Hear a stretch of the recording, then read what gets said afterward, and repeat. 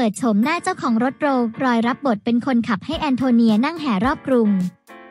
เรียกได้ว่าเป็นความภาคภูมิใจของคนไทยทั้งประเทศในรอบ 35 ปี เมื่อวันที่ 26 พฤศจิกายน 66 ที่ผ่านมาแอนโทเนียโพซิ้วเดินทางกลับถึงประเทศไทย หลังคว้าตำแหน่งรองอันดับหนึ่ง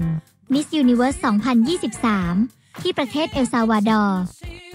ซึ่งต้องบอกเลยว่าบรรยากาศที่สนามบินสุวรรณภูมิ มีแฟนนางงามไปรอต้อนรับคึกคักเลยทีเดียว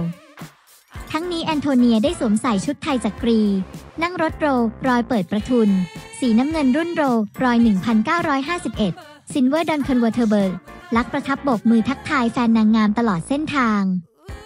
ตั้งแต่ท้องฟ้าจำลอง เอกมัย ทองหล่อ พร้อมพงษ์ไปที่อุทยานเบญจสิริ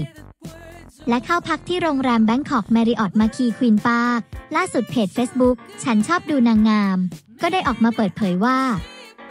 รถที่ใช้ในการแห่แอนโทเนียนี้เป็นรถโรลส์รอย